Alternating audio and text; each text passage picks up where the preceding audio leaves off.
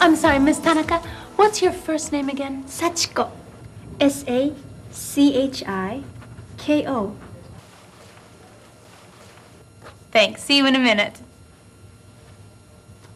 Hi. My name's Ricardo, but everybody calls me Rick. Well, nice to meet you, Rick. I'm Marie Wallette. It's nice to meet you, Marie. Um, where are you from, Marie? I'm from Canada. Oh, so you're Canadian.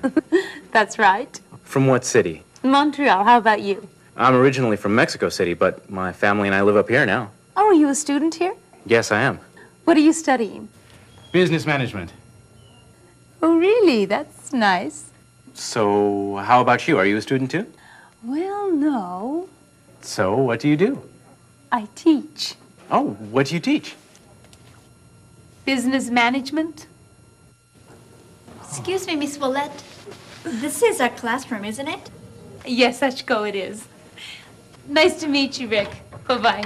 Yeah, you too. Goodbye.